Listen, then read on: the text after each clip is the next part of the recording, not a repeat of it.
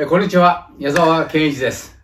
えー昨日に引き続いて、東京ドームから、えー巨人対ヤクルト戦をお送りします。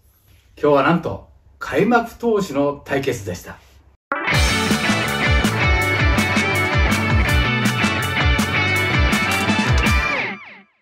開幕投手は、菅野と小川ですね。その菅野のピッチングですけども、今日プレートの踏む位置を変えました。いつもだと三塁側を踏んでましたけども、今日は一塁側を踏んでたんですね。え一つの狙いが見えてきました。それはですね、右バッターに対して、えー一塁側を、左も一塁側を踏むんですけども、この一塁側を踏みますと、このアウトコースのゾーンが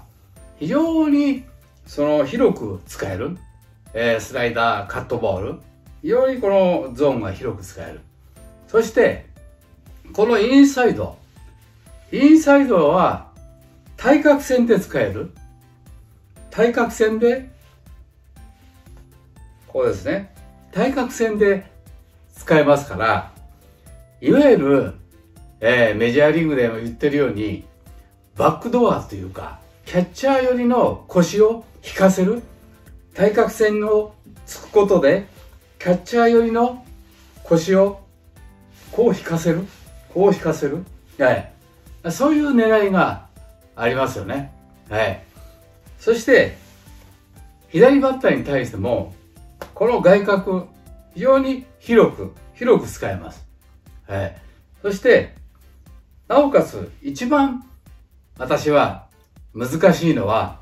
この左バッターに対する、このインサイドへの攻め方ですよね。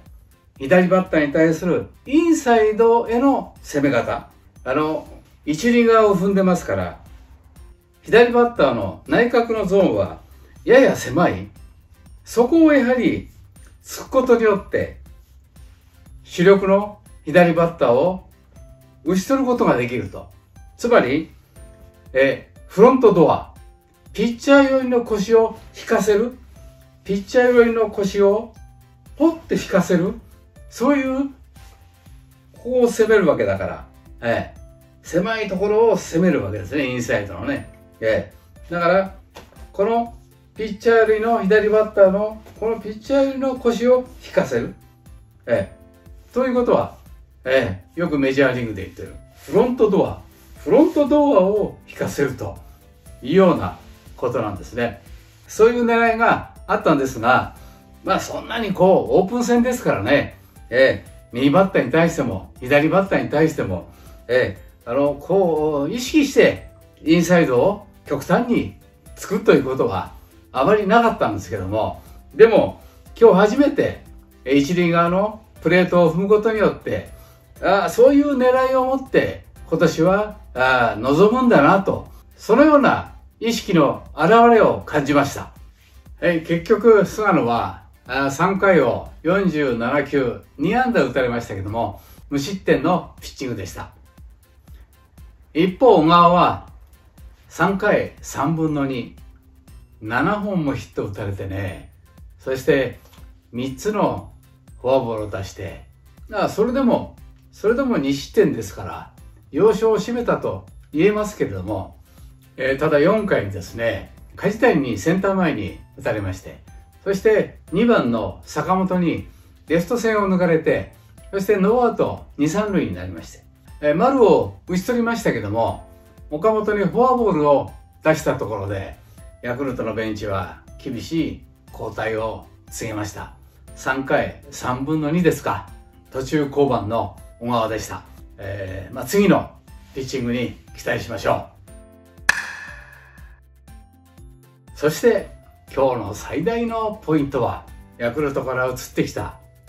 広岡内野手が9番でショートを守りました。いきなり初回3つのショートゴロが来て難なくさばいて、えーアウトにしました。そして3打席目にピッチャーはヤクルトのストッパー石山でした。石山が投じたやや真ん中からちょっと外目の甘いコースといえば甘かったけれども、それを見事に、えー、レフトスタンド最上段に持ってきました。巨人に移籍して、初めてのホームランです。えー、巷では、巨人の方が得をしたなというような、えー、ことが、あ囁かれてますけども、確かに移籍してすぐにゲームに出たり、2試合目でスタメンに使われたり、えー、で、また今日はホームランも打つし、守備でも華麗な守備を、また手堅い守備をしましたし、これは巨人が得をしたなというようなことは言われてますけども、まだ田口は投げておりません。田口が、田口が投げてから判断できるのではないでしょうか。広岡と双方が活躍するのが楽しみですね。えー、今日は、えー、東京ドームから巨人対ヤクルト戦をお送りしました。ご視聴ありがとうございました。チャンネル登録お願いします。